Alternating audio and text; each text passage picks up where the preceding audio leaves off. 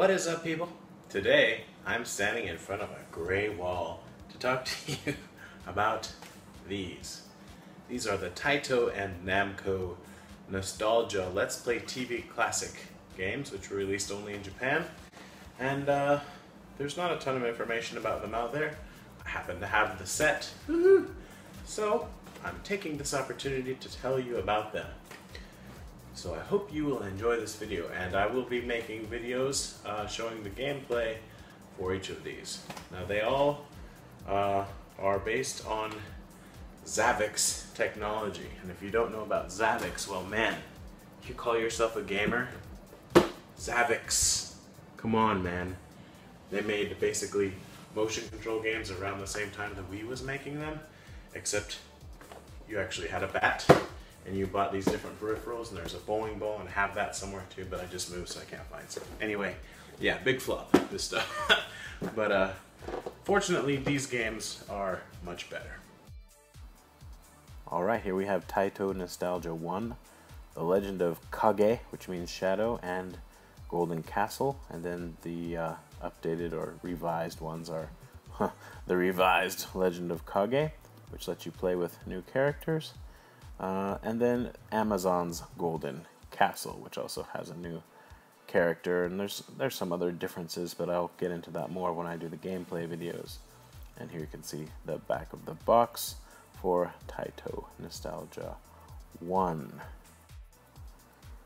On to Taito Nostalgia 2. This has uh, this is my favorite of the bunch, so I was happy to find an extra one of this one. It's Kiki Kai Kai and and then uh, Slap Fight. Slap Fight's actually quite an expensive game to get on the Mega Drive.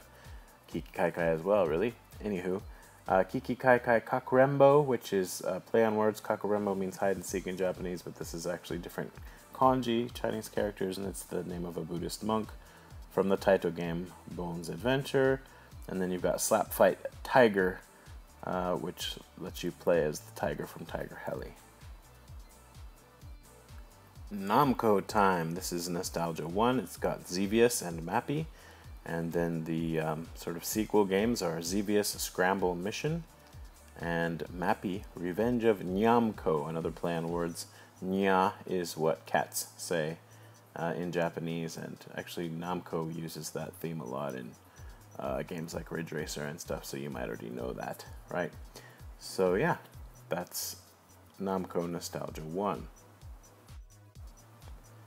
Namco Nostalgia 2 has Gaplus and Dragon Buster, and then Gaplus Phalanx and Dragon Buster 100.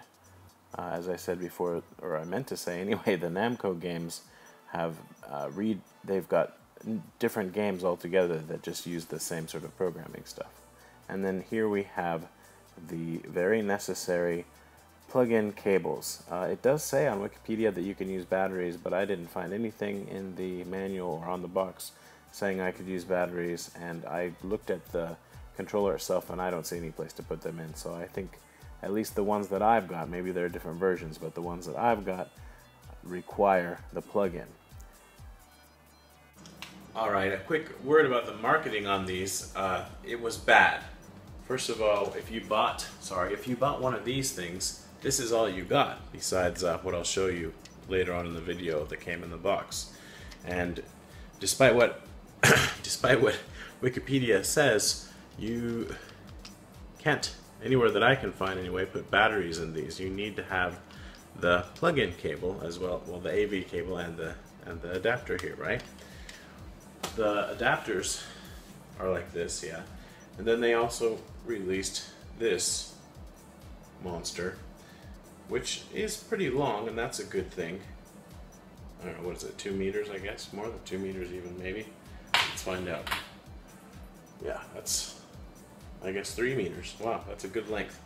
But um, the rubber on the outside, or plastic, whatever it is, the coating uh, would get too hot uh, when they were being played with, and so they recalled them, and then they released upgraded ones.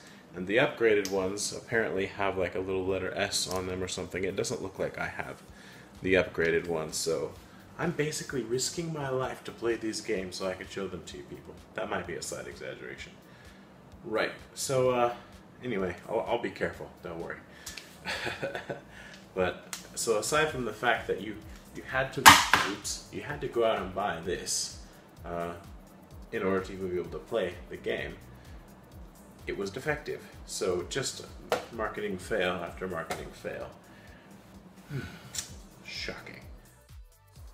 So here is just an example box to sort of show you what is inside of, a, of each one of these, okay? First of all, there's a survey card. Exciting stuff. Ooh. Okay, this is something better. It's a little sticker you can actually put on the side of the controller. That might be really useful if you wanted to put them on the shelf and easily see which is which, I guess. The controller itself is wicked small. It's pretty tiny. you can see, look at this. Yeah. But it's not too bad in the hand.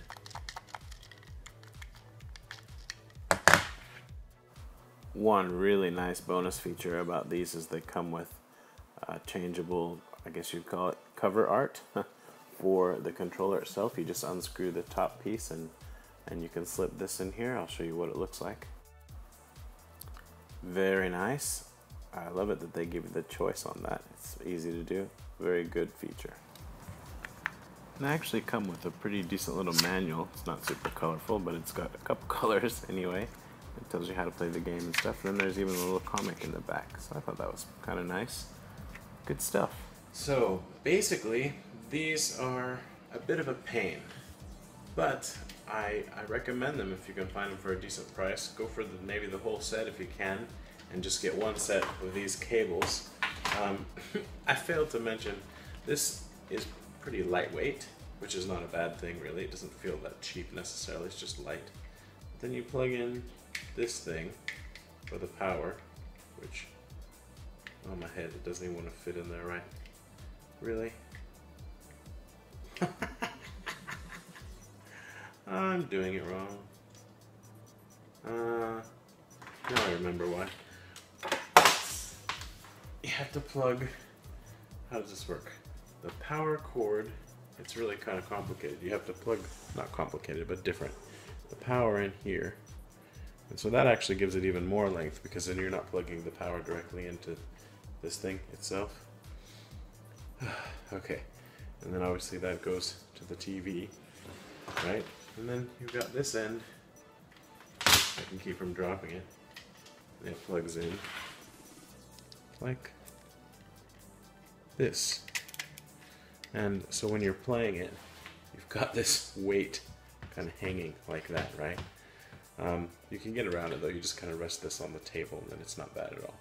There's just still a lot of things you have to do to work around it, right? And then you're, you're playing like this.